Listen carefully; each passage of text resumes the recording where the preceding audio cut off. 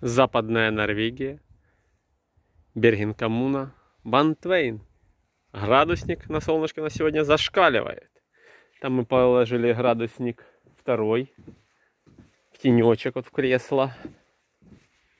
Так, смотрим. Ну, почти 18 градусов в тени, ну 33 это он трошки лежал на солнце. Сам прибор. Оказывается, в нем есть внутренний градусник и наружный.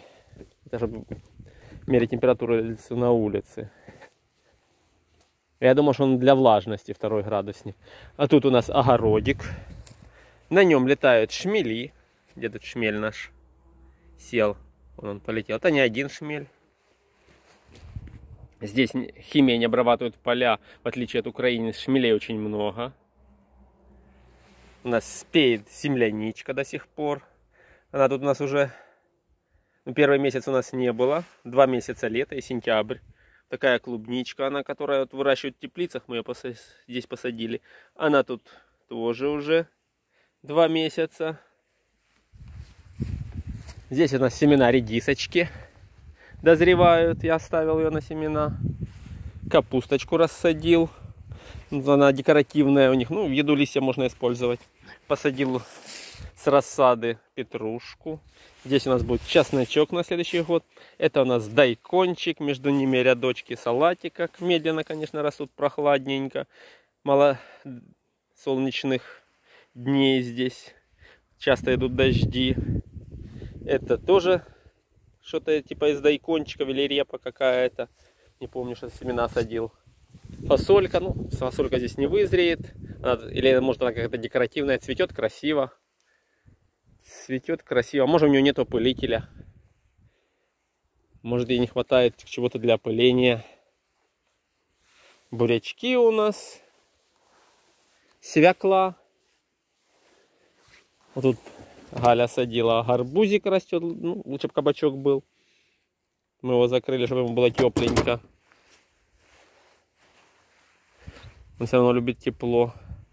У нас еще здесь вот часики летают, мы их так дома называли. Ну типа пчелок, они не кусаются. Ой, шмель, шмель. Еще где-то видел осмии летают. Они как пчелки. Ну раскраска как у ос. Вон она летит вот. Вот, ну. вот она села. Нет, это часик. Часик. Этих я попугал, наверное. Вот они маленькие. Он маленькая какая-то. Пчел... Не, не знаю, тоже. Маленькая осмия. Это, скорее всего, она и есть. Они при низких температурах хорошо опыляют. У нас рано весной. Они начинают летать. И самые первые пылители. Ну и шмели хорошо летают. Тут будет огород на, на следующий год. Добавим.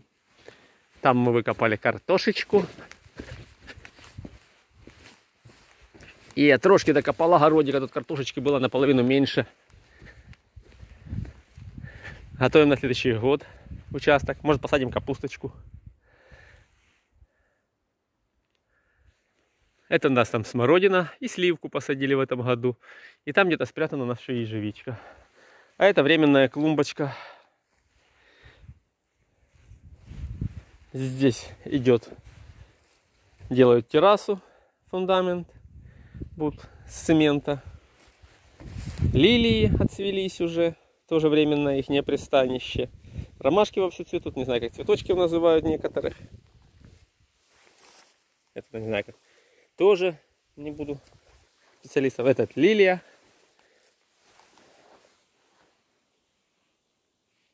Тому.